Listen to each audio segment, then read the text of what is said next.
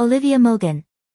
Popular social media star who is best known for her Olivia Mogan Instagram account where she posts modeling and fashion content. She has accumulated over 180,000 followers on the app. Before fame, she launched her Instagram account in July 2016. Trivia, she has earned over 320,000 followers on her Olivia Mogan TikTok account, where she primarily posts comedic videos. Associated with, she and Daisy Keech are both popular Instagram stars. That in bathing suit is, wow, Olivia Mogan is full of flower power, in her bathing suit.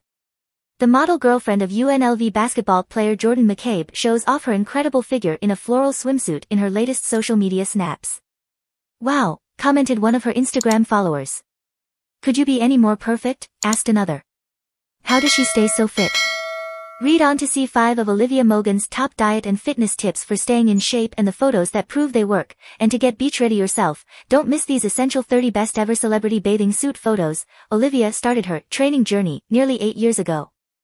Initially she created her own workout plans. However, she started working with a professional when she hit her plateau. Feeling so motivated again, she wrote in one of her Instagram stories. How many days a week does she sweat? In another Instagram story she revealed that she works out 5 to 6 days per week. Olivia doesn't do any of workouts. I just do really heavy compound lifts which work my entire torso, she revealed in an Instagram story Q&A. Instead, she focuses on her back or quads. She loves doing bent over rows and squats.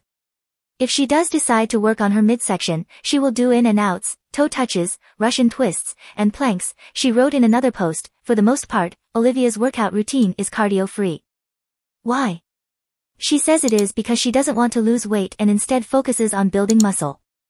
The most I do right now is walking for like 10 minutes before I start if I feel like it, she said.